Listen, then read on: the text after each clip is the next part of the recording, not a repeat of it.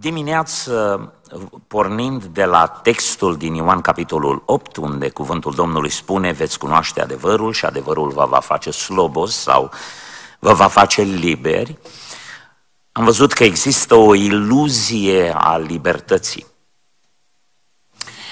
Uh, iluzia aceasta a libertății este sugestia diavolului. În grădina Eden, Dumnezeu i-a spus omului să nu mănânce din pomul cunoștinței binelui și răului. Și omul a avut o alegere de făcut, să păzească o singură poruncă. Care a fost scopul acestei porunci? Vedeți, noi oamenii suntem în fiecare zi în fața lucrurilor bune și lucrurilor rele. Și trebuie să decidem și să alegem între ele. Chiar dacă este înjositor pentru natura umană, aș vrea să vă spun din start că nu putem gestiona această alegere. Care a fost motivul pentru care Dumnezeu i-a spus omului nu mânca din pomul cunoștinței binelui și răului. Pentru că nu suntem capabili să gestionăm această alegere. Ce s-a întâmplat în momentul în care omul a mâncat din fructul oprit? Inima lui a fost înclinată către lucrurile rele. Au ales răul. Uitați-vă, vă rog frumos, la noi. În fiecare zi suntem chemați și suntem, mă gândesc, oameni născuți din nou, dar care încă trăim în această natură slabă cu care ne războim zilnic.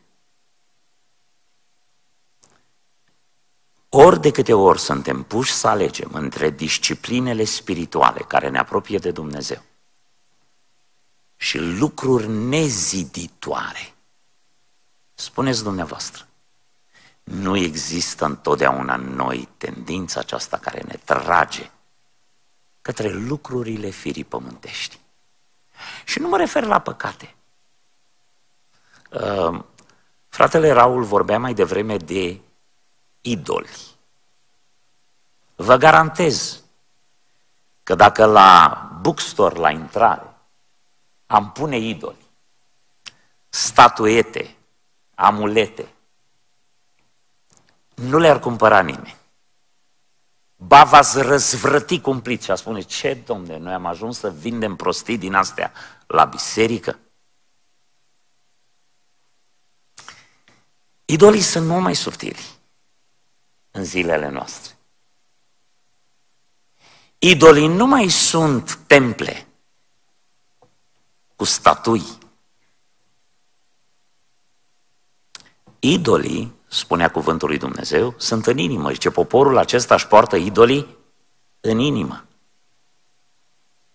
Și există porniri ale firii pământești care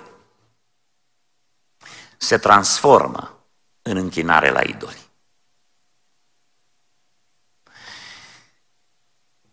Există această iluzie a libertății, că facem ce vrem, că suntem liberi să alegem. Cântarea Te aleg mereu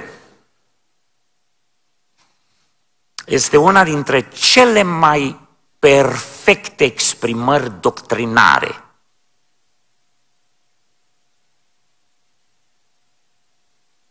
cu privire la alegerea noastră. De fapt, în fiecare zi suntem chemați să-L alegem pe Domnul. De ce? Că l-am ales odată. Pentru că partea cealaltă contestă decizia noastră.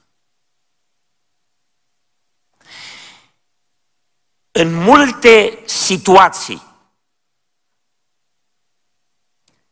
Când alegem, nu neapărat între păcate și lucruri bune, ci când alegem între lucruri minore, lucruri mărunte, dar care ne împiedică, spune Biblia, să dăm la o parte păcatul și orice piedică. Există nu numai păcate, există piedici. Lucruri pe care le alegem și care ne împiedică în îndeplinirea disciplinelor spirituale care ne apropie de Dumnezeu. Și trebuie să dăm la o parte și păcatul, dar trebuie să dăm la o parte piedicile. Piedicile acestea, când devin cronice, devin idoli. Diavolul l-a păcălit pe om și a spus, tu îți poți gestiona viața. Tu îți poți controla destinul. Și de aia și-a frânt omul gâtul, pentru că nu poate. Și atenție, când ieșim de sub umbrela protecției divine, când luăm autoritatea asupra vieții noastre și o ținem în mâinile noastre crezând că suntem liberi, de fapt am intrat în teritoriul celui rău. El ne păcălește, el niciodată nu ne spune că ia control asupra vieții noastre, dar toată lumea zace în cel rău. Vedeți, când Pavel a spus despre curvarul din Corint, să-i fie dat trupul pe mâna satanei ca să-i se salveze sufletul, uitați ce a vrut să spună Pavel. Îl scoatem din părtășia bisericii pentru păcatul grosolan pe care l-a comis, lucru pe care nici neamurile nu le fac. Și când îl scoatem din părtășia bisericii, asta înseamnă l-au dat afară din adunarea bisericii, n-a avut voie să vină la biserică. Nu numai că l-au exclus din rolurile de membri ale bisericii, nu. L-au dat afară din părtășia bisericii, să fie dat afară din mijlocul vostru. Omul acesta n-a mai fost sub protecție divină. Ființa lui a devenit vulnerabilă, i s-a putut întâmpla orice.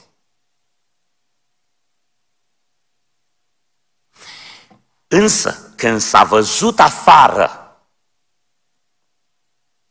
omul acesta păcătos a fost cuprins de o asemenea durere și suferință. Că după aproximativ un an jumate, doi ani, Pavel scrie a doua epistolă și le spune primiți-l înapoi și arătați-i din nou dragoste. Dați mâna cu el, chemați-l la adunare pentru că s-a pocăit și este într-o asemenea întristare că nu mai e sub umbrela protectoare a prezenței lui Dumnezeu, încât e posibil să fie doborât de prea mare întristare și atenție, nu mai e în pericol doar să-i se piardă trupul, e în pericol să-i se piardă sufletul. Chemați-l pentru ca satana să nu aibă niciun câștig de la noi, pentru că nu suntem în necunoștință de planurile lui.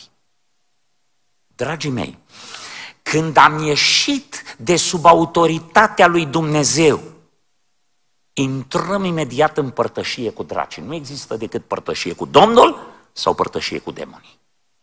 Nu există decât stăpânirea Domnului sau stăpânirea diavolului. Dumnezeu e corect. Dumnezeu a venit în grădina Edenului și a spus, nu mâncați din pomul ăsta, este restricția pe care eu vă pun, mi-o asum, eu sunt Dumnezeul vostru, eu sunt Creatorul vostru, eu am dreptul să vă spun ce să faceți, ce să nu faceți, pentru că în ziua în care veți mânca, veți muri. Și omul a spus, o, bine, Până când a venit diavolul și a spus, Dumnezeu e un dictator. Dumnezeu nu vrea să vă atingeți potențialul. Nu vrea să fiți independenți. Nu vrea să vă luați soarta în mâna voastră. Și asta este cea mai mare tentație în mod special pentru generația tânără. Să ajungă la vârsta majoratului și să poată face lucruri pe care nu le puteau face până atunci. Înțeleg să poată conduce o mașină? Acceptabil. Dar nu neapărat la asta și nu numai la asta se gândesc ei. Să poată merge în, lucruri, în locuri unde nu pot merge înainte de a fi majori, să poată cumpăra lucruri pe care nu le pot cumpăra până nu sunt majori, și ei interpretează în mod greșit aceasta ca fiind libertate. E o iluzie. Ai ieșit de sub autoritatea lui Dumnezeu în mod automat, ești păpușerit, ești controlat de forțele întunericului. E responsabilitatea libertății oameni care consideră că dacă sunt liberi, nu mai trebuie să facă nimic. Harul vine cu responsabilități. Libertatea implică mari responsabilități. Unul din lucrurile pe care le vedem în această societate este, se numește democrație, se numește libertate. Este o societate care a devenit, s-a umplut de oameni irresponsabili. Lucrul acesta este foarte dăunător. Într-un sistem uh, autocratic, într-un sistem dictatorial, toată lumea este încolonată, este așezată în ordine și îi se impune să execute niște ordine. În libertate am ajuns la concluzia că nu ne comandă nimeni. Și oamenii cărora li se spune că nu sunt obligați să facă ceva, vor alege să nu facă mare lucru. Trăim într-o împărăție a lui Dumnezeu plină de oameni responsabili. Îmi pare foarte rău să vă spun. Uh, probabil cea mai mare responsabilitate a noastră după nașterea din nou, când am fost transformați și aduși la o viață nouă în Hristos, este să aducem oameni la cunoștința de Dumnezeu, la mântuire. Este o dovadă de irresponsabilitate să nu chemăm oameni la mântuire, să nu invităm la biserică. Trăim într-o comunitate destul de mare de români, interacționăm cu mulți. Ar trebui să fim lumină pentru ei și să chemăm la biserică. Biblia spune, vai de cei ce stau fără grijă în Sion. Oameni care n-au nicio grijă, care n-au nicio responsabilitate. Ori lucrul acesta nu face parte din libertatea noastră în Hristos. Lucrul acesta face parte din legăturile care încă ne țin departe de îndeplinirea potențialului nostru în Hristos.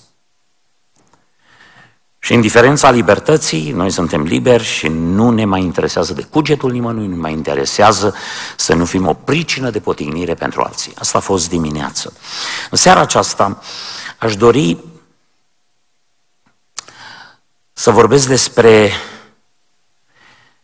ceea ce nu este libertate în Hristos. Trei lucruri. La trei lucruri aș vrea să mă refer.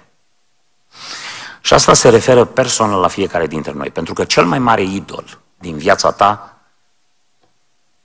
poți să fii tu. Nu există niciun idol mai mare în viața unui om decât el însuși. Este cel mai subtil dintre idoli. Este cel mai camuflat dintre idoli. Și este cel mai periculos dintre idoli. Când tu te-ai așezat pe tronul vieții tale în virtutea faptului că ești liber și că ți-ai luat soarta în mâini, te vei nenoroci. Vedeți, când tânărul bogat a venit la Domnul Isus Hristos, întrebarea Domnului Isus Hristos a avut de-a face cu cine era Dumnezeu pentru omul acesta. Dacă Hristos ar fi fost Dumnezeu pentru el, îi împlinea poruncă, vindea tot ce avea, dădea la săraci și se ducea să-L slujească pe Domnul. Pentru că Domnul nu era Dumnezeul lui, ci El și își punea nădejdea în posesiunile lui, era Domnul și stăpânul vieții lui. A plecat foarte întristat. I s-a cerut să renunțe la control și asta cere Dumnezeu de la fiecare dintre noi. Iată, în primul rând, libertatea în Hristos nu este de a face ce vrei, ci de a face ce trebuie. În Galaten, capitolul 5, cu versetul 17, în ultima parte spune, nu puteți face tot ce voiți. Puteți face tot ce voiți. În momentul în care cineva spune fac ce vreau, nu face ce vrea. Face ceea ce îi impune firea pământească, firea pământească face ceea ce impune păcatul care stăpânește asupra firii pământești și păcatul este operat prin influența diavolului. În cele din urmă duce la moarte.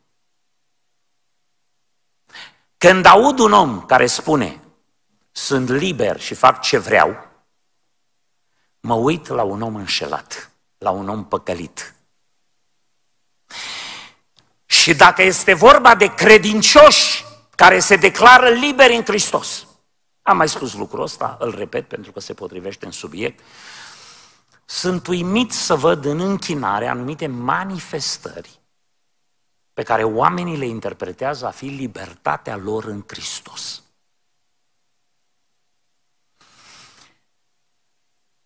Dansează. Am văzut zilele trecute că mai îmi trimit unii. Unii îmi trimit cu dorința de a mă informa, alții de a mă provoca. Și îmi, îmi trimit imagini de la o biserică unde fiecare avea câte un steag în mână. Băi, săreau ăștia. M-am uitat, am zis, pentru scopuri de sănătate, probabil că are un impact pozitiv chestia asta. Uh, un fel de muzică rap, care pentru mine nu e muzică, e un fel de țipătură. Un fel de aho, aho, copii și frați, dar așa, într-o formă dementă. Și se portretiza a fi închinare.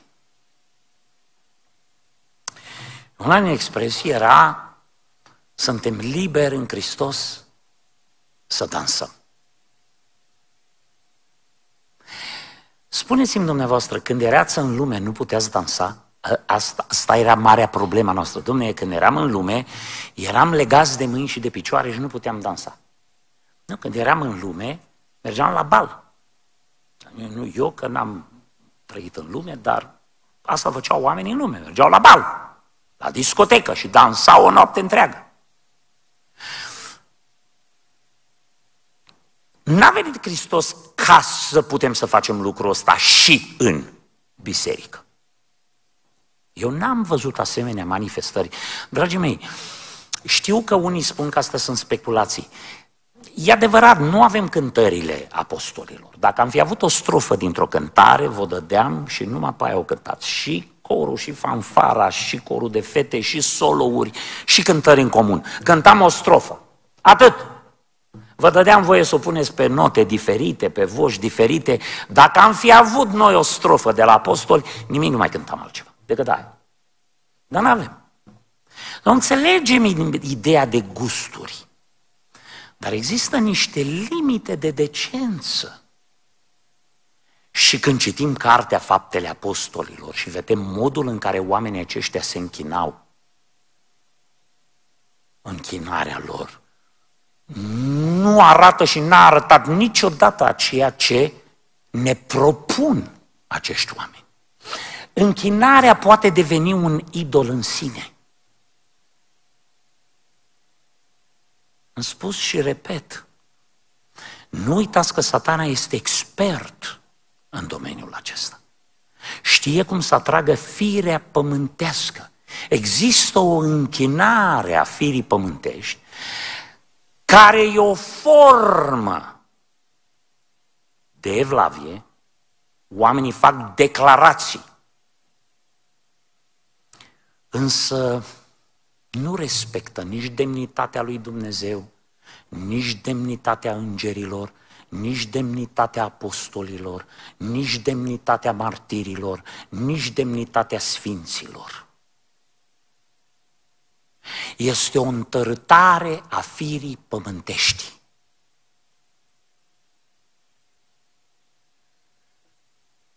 A fost o întrebare recent, de ce nu cred în aplauze?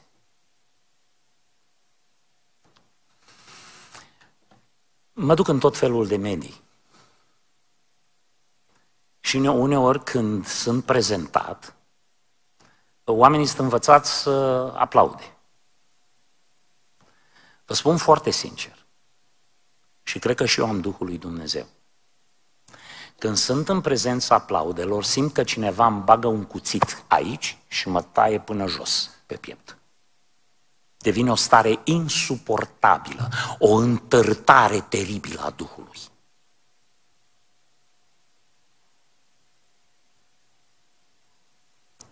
Simt că este ceva lumesc, simt că este o întărtare a firii pământești. Închipuiți-vă, cântă cinci oameni în față.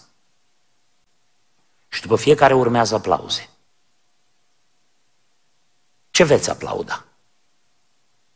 Veți aplauda tare, cea mai tare și mai bună cântare, un pic mai încet, dacă se încurcă, și dacă performanța este slabă, o să trozniți de trei ori așa, ca pe făină. Vă scuturați de făină.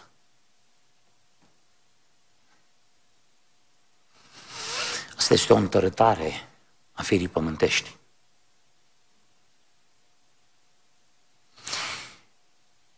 Frați și surori, libertatea în Hristos este să considerăm de fiecare dată ce trebuie. Lucrurile care trebuiesc. Nu lucrurile pe care vrem noi să le facem, imitate din lumea asta. Vă rog să vă uitați. În închinarea în multe biserici se imită moda lumii. De unde sunt luate stilurile de îmbrăcăminte? De unde sunt luate gesturile? De unde sunt luate formele? Că nu sunt în Biblie. Înțeleg, poate că sunt inspirați, dar vreau să știu de unde. Ei, când din curiozitate, că trebuie să vezi ce se întâmplă în lumea asta, ca să știi de unde apar modelele. Când te uiți și vezi că începem să imităm gesturile oamenilor fără de lege, pe nu de mirare dacă cântăm împreună cu ei, dacă amestecăm închinarea noastră cu a lor.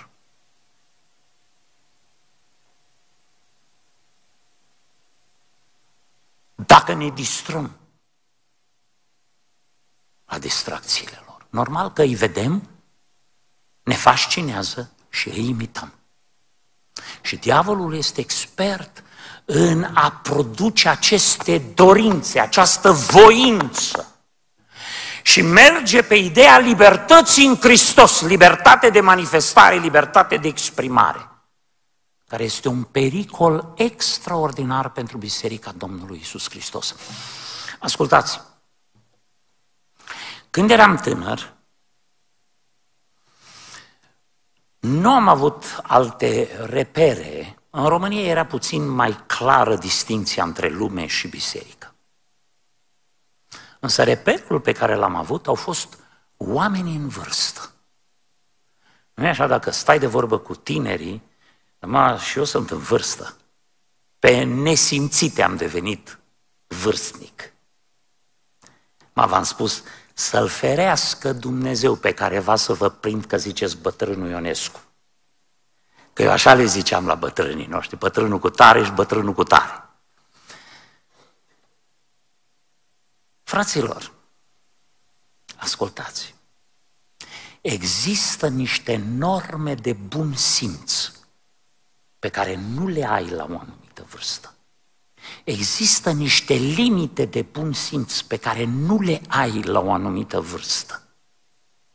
De asta, când ești tânăr, îți pui viața în pericol de multe ori. Pentru că n-ai simțul acesta al autoprotecției. Și dacă funcționează în spațiul fizic, să știți că funcționează și în spațiul spiritual. De ce ai nevoie de părinți când ești copil? Una din marile nevoi de a avea părinți este să te protejeze. Să nu-ți dea cuțit în mână, nu-ți dea, să nu te lase în locuri unde aflu de multe ori, atunci n-am știut că dacă îmi spuneau le ciufuleam, le ciufuleam rău, de mai aflu din când în când Ce aventuri mai aveau fetele noastre când nu eram cu ochii pe ele. Și câteodată așa mari cum sunt, îmi vine să, să, să, să, să, să, să, să, să le ciufulesc și să le trag de păr. Zic, mă, zic, multă vreme am crezut că am fost mai aspru, dar acum am dau seama că nu v-am dat destule. Copiii au nevoie de protecție, pentru că n-au simțul ăsta. Din punct de vedere spiritual, e o junglă E o zonă foarte periculoasă. Și scopul părinților, din punct de vedere spiritual, de asta Biblia spune, și să mă iertați, e, Biblia spune, dacă n-aș fi fost supus bătrânilor care m-au crescut, n-aș fi îndrăznit să vă spun asta. Dar am făcut drepte în fața lor. Pentru că am știut că sunt oamenii lui Dumnezeu care îmi vor binele. Nu care vor să mă opreseze și vor să mă facă să mă simt plictisit și opresat. Nu, oameni care au vrut să mă protejeze. Și am ascultat. Biblia spune, tinerilor fiți supuși celor bătrâni. Când aud ideea că se face biserică de tineri și pentru tineri, din start este o erezie nimicitoare. Biserica trebuie să rămână și să stea sub autoritatea oamenilor în vârstă care au simțul normativ al bunelor maniere, a ceea ce înseamnă în biserică decență.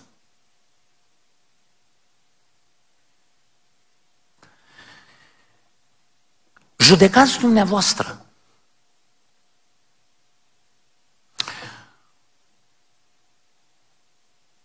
Că sunt foarte multe evenimente sportive. Și unele dintre ele se nimeresc să fie exact când sunt programe de biserică. Sunt biserici care acomodează pe ecranul bisericii meciul. Noi am țipat și ne-am distrus când am auzit că erau biserici care puneau scorul pe ecran în timpul programului. Oamenii, da, să le mai pe scorul, că vin cu telefoanele și se uită și văd care este scorul. Dar să afișezi meciul și să spui că îndemn pe frază la părtășie, să vadă meciul în biserică. Deci nu știu, fraților, pentru mine, în lăuntru meu, nu de păstor, de pocăit simplu. Lucrul ăsta sună a fire pământească de cea mai joasă speță. Au ajuns să fie sărbători unde se pun filme în biserică. Biserica a devenit și cinematograf. Ascultați, dacă pentru tineri lucrul ăsta ar mai fi acceptabil, când este acceptabil pentru lideri, pentru oameni în vârstă, ne arată cât de jos am căzut. Când oamenii pierd simțul a ceea ce înseamnă biserică și dă vina pe libertatea noastră în Hristos. Libertatea noastră în Hristos. Deci Iisus Hristos a murit acum 2000 de ani pe cruce. A stat între cer și pământ, a fost bat jocorit, a fost bătut.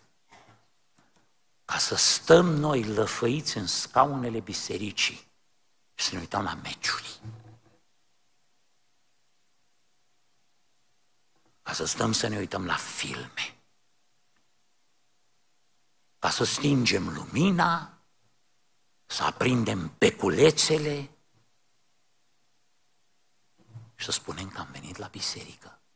De unde s-a luat modelul ăsta? spun eu de unde s-a luat. Din lume. Din lume. Știți că atunci când a predicat după miezul nopții, spune Biblia că erau la etaj și în odaia aceea erau multe lumini. Mi-aduc aminte când s-a făcut construcția.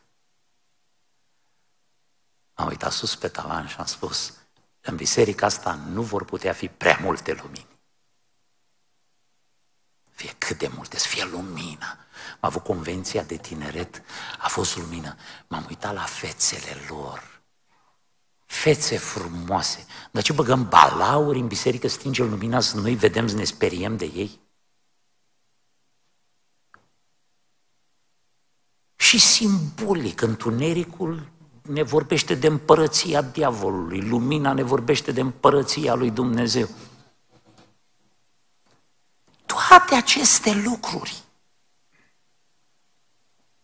au ajuns să facă parte din libertatea noastră în Hristos, care ne dă dreptul să facem ce vrem. Și nu ce trebuie. Libertatea în Hristos nu înseamnă să faci ce-ți place ție, ci ce-i place Domnului. Pentru că noi trebuie să fim plăcuți Domnului. Vedeți, când Domnul Iisus Hristos a venit în lume, El a venit să-i fie plăcut Tatălui. Iată de ce Dumnezeu a declarat despre El, iată Fiul meu preubit în care îmi găsesc toată plăcerea. Ori de câte ori faci un lucru, întreabă-te, îi place Domnului? Se uită Domnul cu plăcere la lucrul acela?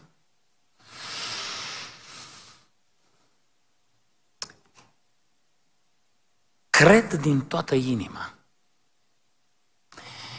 că există un foc străin. În California există o mișcare proeminentă, cesaționistă, care vorbește împotriva lucrării Duhului Sfânt și penticostalismului clasic și care numește tot ceea ce se întâmplă între noi foc, foc străin.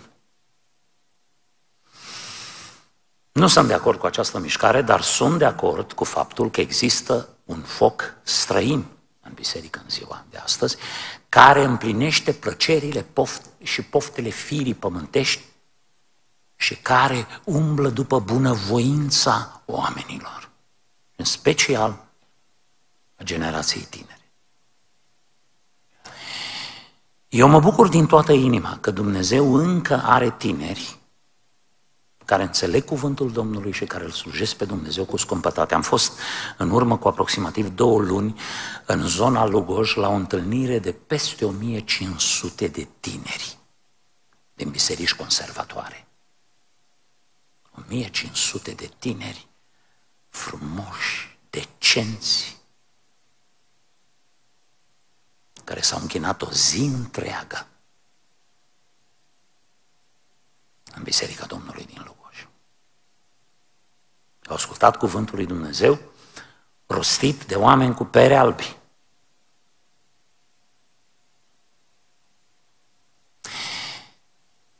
Noi iubim tinerii, folosim tinerii. Însă există o tendință ca la toate convențiile să elimine predicatorii cu experiență, mai în vârstă, care predică mai conservator, să introducă tineri de 23-25 de ani. N-am nimic împotriva lor, îi iubesc din toată inima. Și eu am fost la 24 de ani, am fost ordinat în slujbă și am devenit păstor.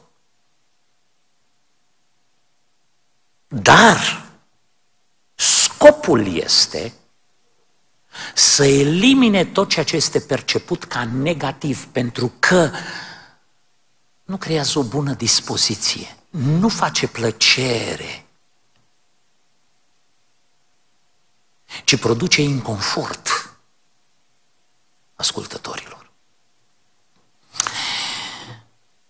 Libertatea în Hristos nu înseamnă să faci ce-ți place ție, ci ce îi place Domnului. Ascultați ce spune aici cuvântul lui Dumnezeu. În Galaten 5, 16 și 17 zic, dar umblați cărmuiți de Duhul și nu împliniți poftele firii pământești. Căci firea pământească poftește împotriva Duhului și Duhul împotriva firii pământești. Sunt lucruri potrivnice unele altora. Dragii mei, este un război. Întreabă-te ori de câte ori auzi ceva. Este un lucru care place Duhului sau este un lucru care place firii. Și dacă simți o stare de revoltă, întreabă-te cine se revoltă împotriva acelei învățături. Duhul sau firea?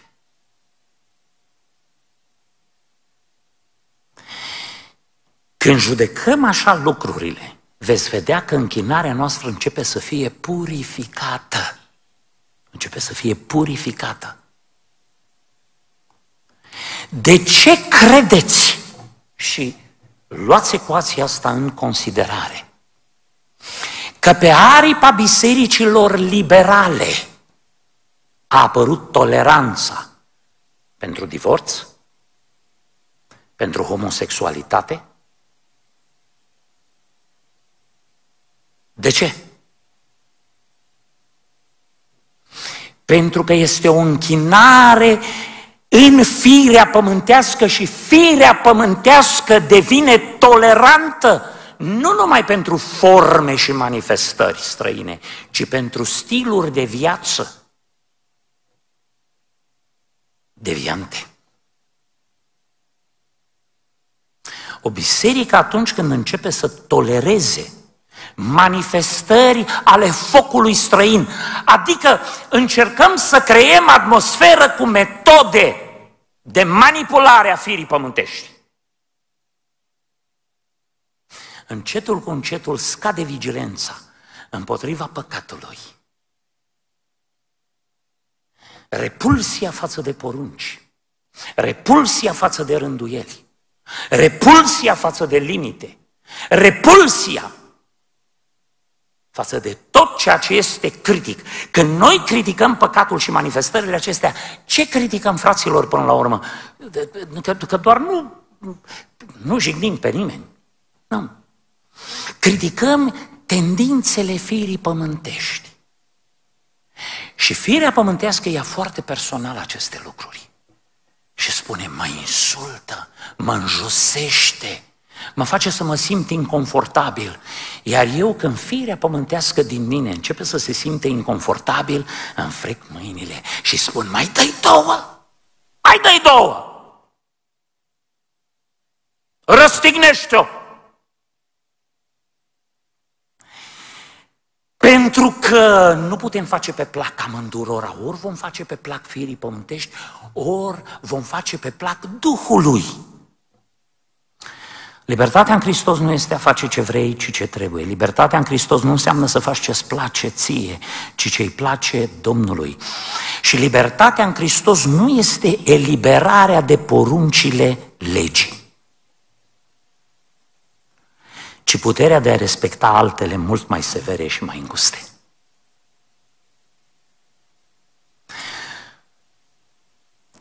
Legea în sine, inclusiv decalogul, nu avea porunci severe. Adică porunca să nu ucizi. Vi se pare o poruncă de prost gust? Eu cred că e o poruncă normală într-o societate decentă, nici măcar n-are de-a face cu pocăința, să mă iertați, vă rog frumos. Deci când într-o biserică ar trebui să țină o predică întreagă despre să nu ucizi, E vai de capul nostru.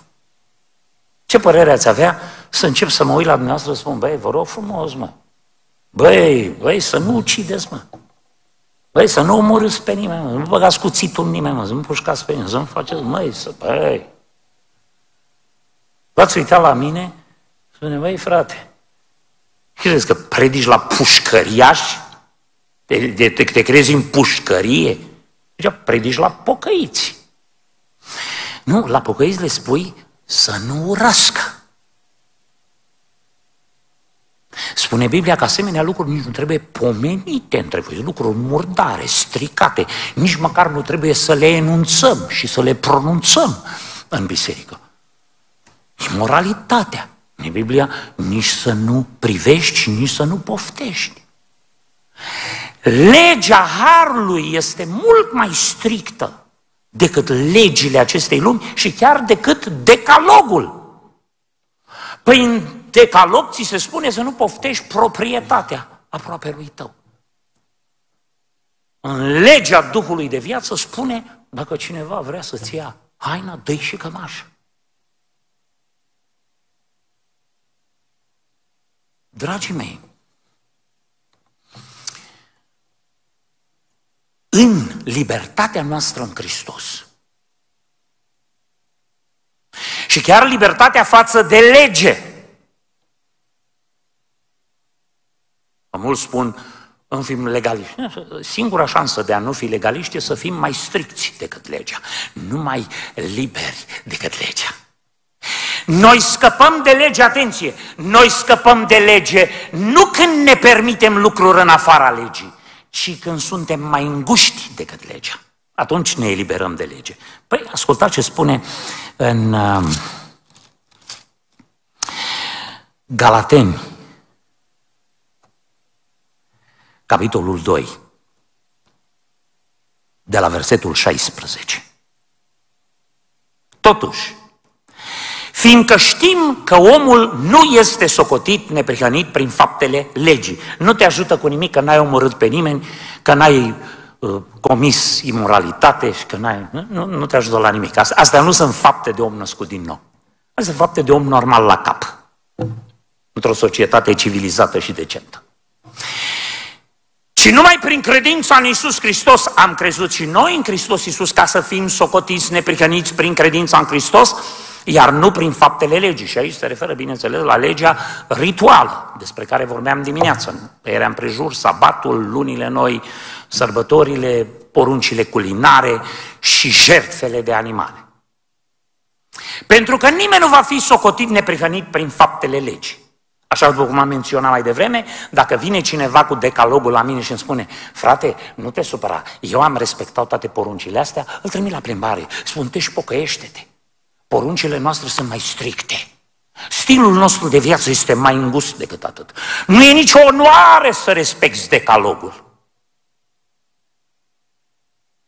Nu. Și nu te face neprihănit în ochii lui Dumnezeu. În ochii lui Dumnezeu te face neprihănit credința în Hristos, care te face să trăiești așa cum a trăit Hristos. Mult mai îngust și mai strict decât legea. Da, auziți? Versetul 17.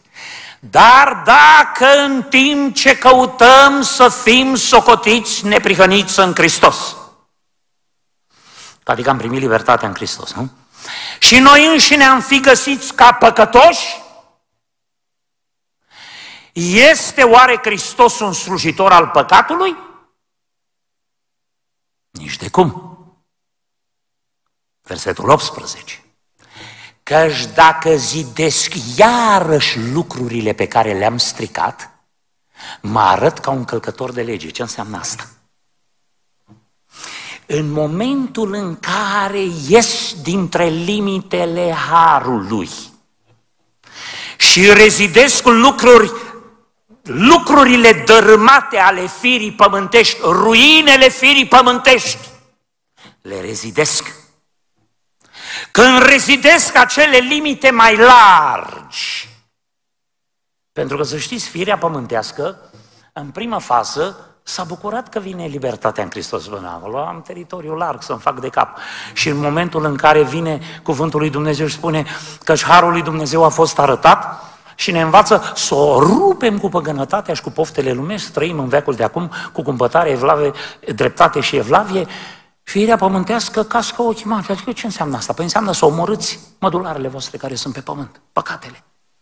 Păi înseamnă să o răstignești pe firea pământească. Știi ce face firea pământească? Firea pământească zice, era mai bine la lege, era mai bine în timpul legii. Firea era mai liberă în timpul legii decât este în har. Legea era totuși o cale mai largă.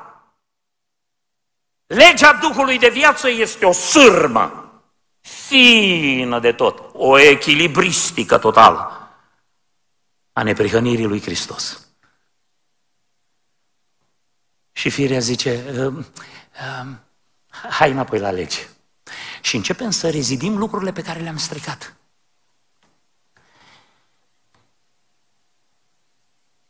Mă arăt ca un călcător de lege.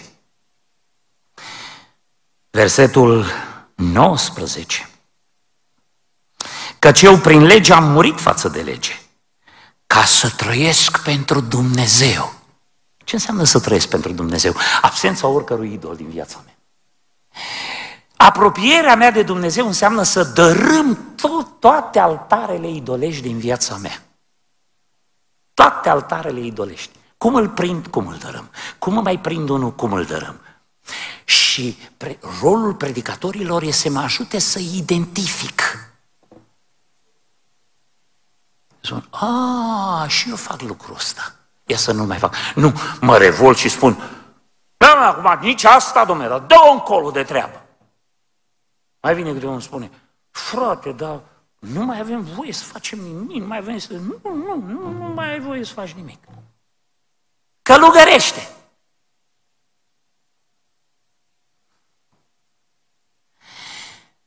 Această reacție este a oamenilor care nu înțeleg bucuria de a trăi pentru Dumnezeu și numai pentru Dumnezeu. Satisfacția de a trăi doar pentru Dumnezeu. Și când oamenii ăștia nu înțeleg lucrul ăsta, dacă le spun că bătrânii noștri, înaintașii noștri, mergeau în fiecare seară la rugăciune, în fiecare zi se îndeletniceau cu scripturile, cântau, atât, tot. Păi nu, nu citiți ce făcea biserica primară? Nu citiți ce făcea? Asta făcea biserica primară.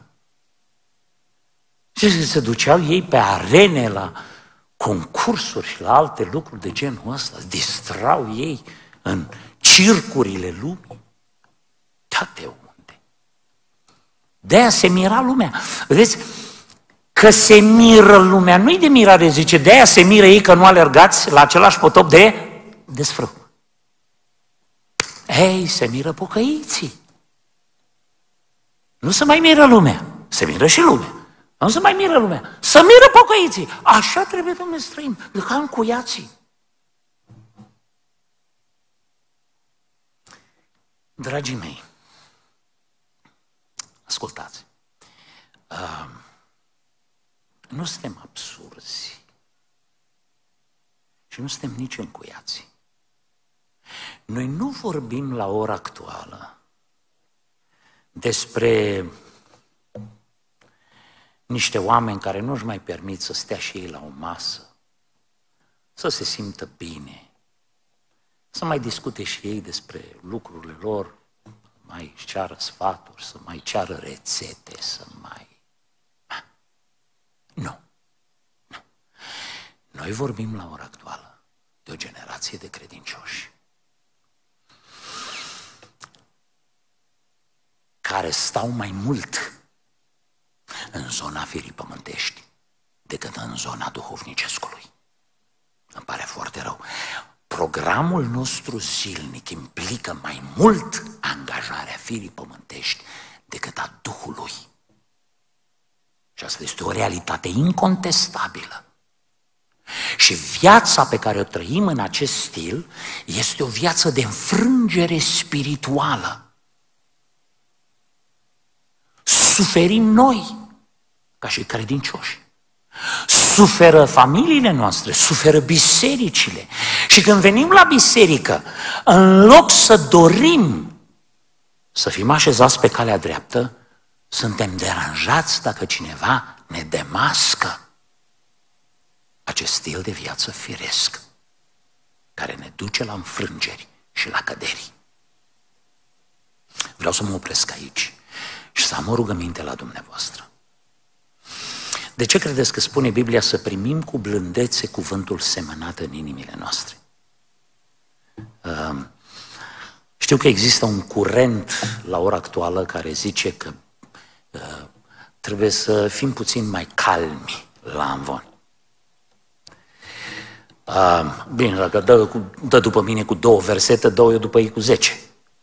Dacă, dacă începem să stăm cu versete unii după alții, le spun eu că străjerii trebuie să strige ca să audă. Și, am, ce crezi dacă... Nu. Fiecare om e el însuși. Este oameni cu diferite grade de pasiune și de energie.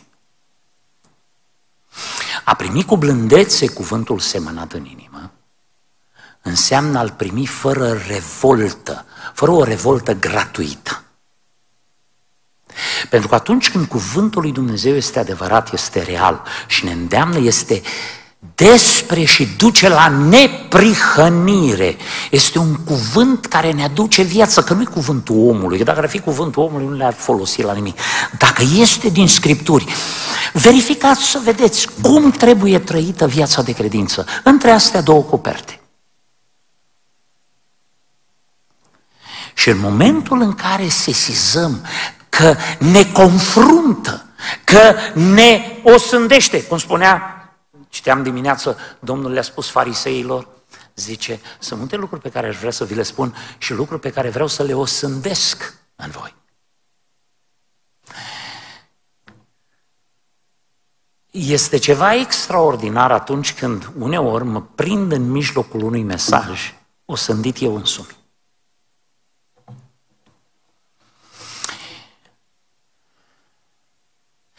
Dacă nu m-aș osândi, și dacă nu m-aș schimba, aș fi un ipocrit. Însă cuvântul lui Dumnezeu taie în toate părțile. Și taie în primul rând în cel care predică. Și pe urmă taie și în alții. Și este foarte greu să primești cu blândețe cuvântul semănat în inimă, pentru că e ceva acolo care se revoltă. Este o lege lăuntrică, o forță lăuntrică a firii pământești care se revoltă și care încearcă să-și găsească scăpare, să nu fie pusă la punct. Mă rog din toată inima, cuvântul acesta să nu cumva să ne taie inimile, ci să ne străpungă inimile, să producă schimbare în noi. Încetul cu încetul, avem răbdare. Fiecare e pe o traiectorie de desăvârșire. Nu toți ajung odată la același nivel de maturitate. Dar continuăm să ne îndeletnicim cu ceea ce spune Scriptura până când toți vom ajunge la același nivel de creștere spirituală până la statura plinătății lui Hristos. Mai e de lucrat în viața fiecăruia dintre noi. Cuvântul lui Dumnezeu, vedeți o piatră când e cioplită ca să aibă loc în templul lui Dumnezeu. E cioplită cu încetul. Dai din toate părțile până când ai făcut-o perfectă. E aici pe pământ. De a venit mereu la biserică. Dacă ne-ar luat doar un program să ne cioplească, am venit toată la biserică în viață și până am venit niciodată. Venim toată viața ca să fim șlefuiți, ciopliți. Avem răbdare. Nu toți sunt ciopliți deodată. Nu toți cresc deodată. Nu toți se maturizează deodată. Și aici răspund de multe ori multor prieteni de mei. Măi, aveți răbdare, predicați radical, guvernați moderat, pentru că oamenii au nevoie de timp să se schimbe, să accepte, să primească, să înțeleagă și să trăiască. Dar atitudinea trebuie să fie întotdeauna. Dacă așa spune cuvântul lui Dumnezeu, așa trebuie să se împlinească și în viața mea. Haideți să ne ridicăm în picioare să mulțumim lui Dumnezeu că se ocupă de noi, că ne hrănește, că ne maturizează. Frați și surori, sunt multe metode prin care Dumnezeu lucrează în viețile noastre. Însă, libertatea noastră în Hristos înseamnă să devenim într-o zi ca Hristos. Libertatea de a lepăda tot ceea ce nu este în Hristos și libertatea de a împlini și de a trăi tot ce ține de Hristos. Pentru că cine zice că rămâne în El, trebuie să trăiască și El cum a trăit Isus. Ne rugăm cu toții.